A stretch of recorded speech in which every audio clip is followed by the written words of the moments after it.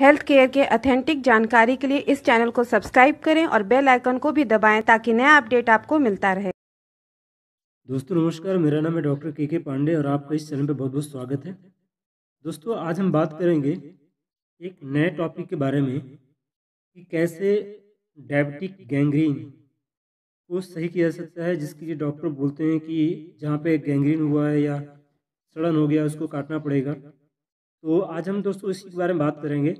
Diabetic foot gangrene को कैसे सही किया गया है, इसका ट्रीटमेंट किया हुआ है डॉक्टर जी एस परवाना ने। और आप देखिए कि कैसी चीज़ें कंडीशन रही हैं। आप देख रहे हैं कि कितनी सड़न पैदा हुई है डायबिटिक की वजह से। गैंग्रीन तो ठीक है, गैंग्रीन तो निकालना ही पड़ता है, बट उस क्षण इससे डेवलप हो जाती है कि जब शरीर में ज़्यादा मात्रा में शुगर इकट्ठा हो जाता है तो वो घाव को सही नहीं होने देता है, वहाँ पर फंगल इन्फेक्शन होना शुरू हो जाता है। यहाँ पे आप देख रहे हैं कि धीरे धीरे इम्प्रूवमेंट हो रहा है बिकॉज़ ऑफ़ गैनोथेरेपी दोस्तों गैनोथेरेपी का प्रयोग करने के बाद ये कंडीशन डेवलप हुई है कि धीरे धीरे इसमें इम्प्रूवमेंट होना शुरू हो गया है। और गैनोथेरेपी जिस, जिसमें गैनोडर्मा और दूसरे जो प्रोडक्ट्स होते हैं, उनका उपयोग किया जाता है।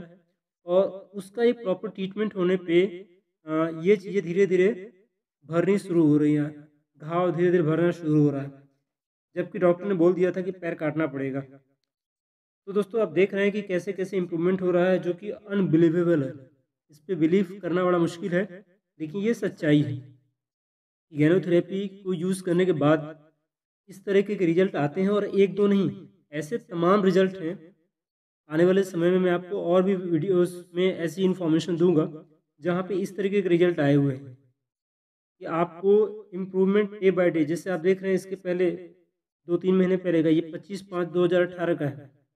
इसमें इम्प्रूवमेंट काफ़ी हद तक हो चुका है और आप देख रहे होंगे कि अंगूठा और जो पहली उंगली है जिसमें गैंग्रीन डेवलप हो चुका है गैंग्रीन का मतलब कि वहाँ की ब्लड सप्लाई बिल्कुल बंद हो चुकी है और जहाँ पे ब्लड सप्लाई बिल्कुल बंद हो जाती है वो जगह बिल्कुल आ, काटने वाली ही हो जाती है उसको बाहर निकालना ही पड़ता है वो फिर सही नहीं हो सकती है।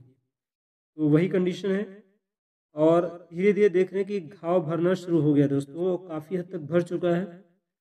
ठीक है? तो कोई भी बीमारी जहाँ पे कंडीशन ऐसी हो कि लग रहा हो कि हाँ बिल्कुल सही नहीं हो सकता है, लेकिन वहाँ पे भी अगर सही से गैनोथेरेपी का इस्तेमाल किया जाए तो वो कंडीशन मच बेटर हो सकती है। बड़ी बार ऐसा कंडीशन हो जाता है कि वो सही भी हो जाती है और इसका ज़बरदस्त असर होता है किसी भी ऐसे घाव में, किसी भी ऐसी कंडीशन में जहाँ पे फैटल डिज़ीज़ हो जाती हैं। जस्ट लाइक कैंसर या और कोई बीमारी हो सपोज़ थायराइड हो गया डायबिटिक हो गया, जहाँ पे कि डॉक्टर ने बोल दिया कि नहीं, अभी सही नहीं हो पाएगा और आपको लगातार दवाएँ लेनी पड़ेंगी। अगर उन कंडीशन में भी प्रॉपर गैनोथेरेपी का इस्तेमाल किया जाए तो दोस्तों कंडीशंस बेटर होती चली जाती हैं और आप देख रहे हैं कि कितनी चीज़ें सही हो चुकी हैं, काफ़ी हद तक बिल्कुल लगभग सही के कगार पे। ये 25 दो 2019 की तस्वीर है। बिल्कुल सही है दोस्तों। दोस्तों ये है फ़ायदा गैनोथेरेपी का, जिसके बारे में आप अगर मेरी पिछली वीडियोस में देखेंगे तो मैंने उसके बारे में भी ज़िक्र किया हुआ है कि गैनोथेरेपी कैसे काम करती है और इसके कुछ बेसिक चीज़ें अगर आपको और जानकारी होगा तो मैं आपको दे दूँगा, इसके बारे में मैं खुद भी गैनोथेरेपी करता हूँ। और दोस्तों, आप देख पा रहे होंगे कि बारह तीन दो हज़ार अठारह में क्या कंडीशन थी और तीन चार दो हज़ार उन्नीस में क्या कंडीशन रही। लगभग एक साल में ये कंडीशन बिल्कुल डेवलप हो गई दोस्तों, जिसमें पैर बिल्कुल काटने की कंडीशन हो गई थी। तो आप समझ सकते हैं कि कितनी बेहतरीन कंडीशन हो गई है और इसका इस्तेमाल आप भी कर सकते हैं, अपने आसपास में जो भी आपके जान पहचान के लोग हों, ये वीडियो उनको उन तक पहुँचाइए ताकि वो लोग इससे फ़ायदा ले सकें। और दोस्तों, एक अच्छा स्वस्थ समाज बनाने में हम लोग मिल करके इसका पूरा उपयोग कर सकते हैं एक स्वस्थ समाज को निर्मित करने में।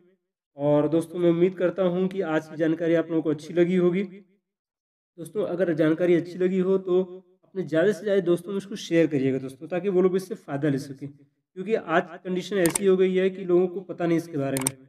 तो दोस्तों लाइक करिए सब्सक्राइब करिए चैनल को नोटिफिकेशन बिल को भी दबाइएगा, ताकि भविष्य में आने वाली हर वीडियो आपको मिलती रहे। और दोस्तों, मैं उम्मीद करता हूँ कि आज की जानकारी अच्छी लगी होगी दोस्तों। अच्छी लगी होगी तो आप शेयर ज़रूर करिएगा दोस्तों। ठीक है, अपना ख्याल रखिएगा। फिर मिलते हैं एक नई जानकारी के साथ में, एक नए वीडियो में। जय हिंद, जय भारत दोस्तों।